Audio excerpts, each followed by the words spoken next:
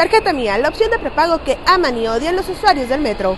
La tarjeta Mía ha venido a ser una de las opciones de prepago más usadas en los últimos años. Su fama creció gracias a los descuentos que ofrecía al momento de recargar, ya que daba viajes gratis. Sin embargo, en el último año se ha convertido en un dolor de cabeza para los usuarios, ya que el cambio en el sistema de peaje ha provocado que muchas máquinas donde tienen que recargar o comprar la tarjeta no funcionen en plenas horas pico. Desde que no acepten billetes o incluso no acepten los billetes nuevos, ha provocado que el usuario de forma desesperada tenga que buscar feria para comprar un boleto normal. En sí, la tarjeta mía trae muchos beneficios, entre ellos el que puedes organizar con tiempo tus viajes, a lograr recargar la cantidad que necesitas y evitar filas. La modernidad está llegando al metro y con ello en próximas semanas o meses el sistema de cobro será exclusivo con tarjeta.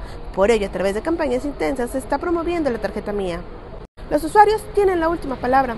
Algunos prefieren seguir comprando su boleto y otros más dan este nuevo paso al sistema de prepago. Esta y más información la puedes encontrar en posta.com.mx, informó Carolina León.